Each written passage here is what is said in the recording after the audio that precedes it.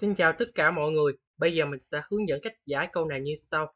Đầu tiên chúng ta sẽ đi tìm, tiệm cận đứng trước. Thì chúng ta có x trừ 2 bằng 0.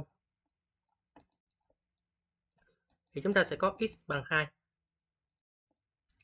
Và chúng ta đi tìm tiệm cận sin của đồ thị này. Thì bây giờ chúng ta sẽ chia với lại x trừ 2.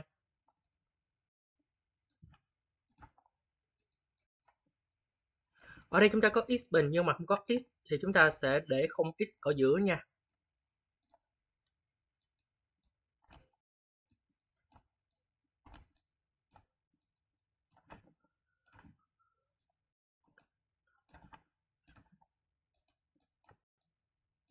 Chúng ta có x trừ 2. Ở đây có x bình phương, chúng ta sẽ nhân thêm x để tạo thành x bình phương. Trừ 2x Chúng ta lấy cái cục này trừ cục này. 0 trừ với trừ là cộng 2x. Sau đó chúng ta thêm 2 vào. 2 nhân cho x là 2x. 2 nhân trừ 2 là trừ 4.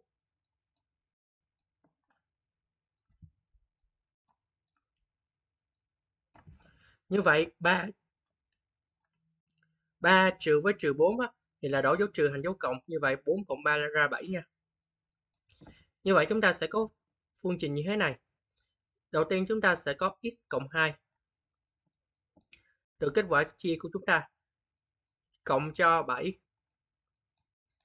chia cho x trừ 2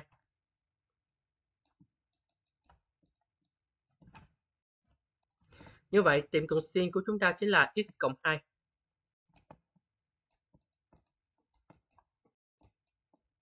Từ cái cục này sau đó chúng ta vẽ hình ra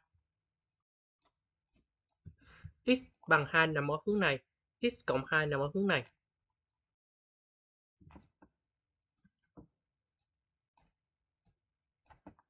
Bây giờ chúng ta tìm giao điểm ở đây. Chúng ta biết chúng ta có x bằng 2, chúng ta thế số 2 này vào đây. y bằng 2 cộng 2 ra 4. Như vậy, tọa độ giao điểm của chúng ta sẽ là 2, 4.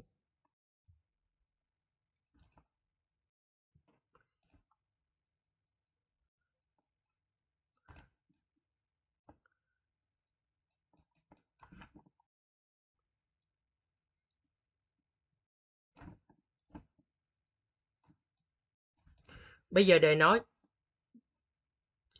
hai đường tiệm cận đủ của đồ thị cùng với hai trục tọa độ tạo thành một hình thang vuông có diện tích s thì đề muốn đi tìm cái phần này nè.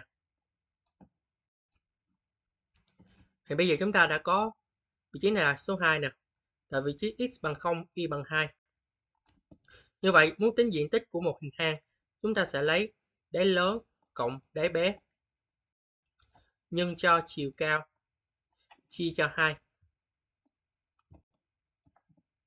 Thì đáy lớn của chúng ta chính là số 4 tại vì từ vị trí này nè cho đến vị trí số 4 thì ở đây chính là độ dài bằng 4 nè. Từ vị trí này đến vị trí này, chúng ta có độ dài bằng 2. Còn chiều cao là từ 0 đến 2.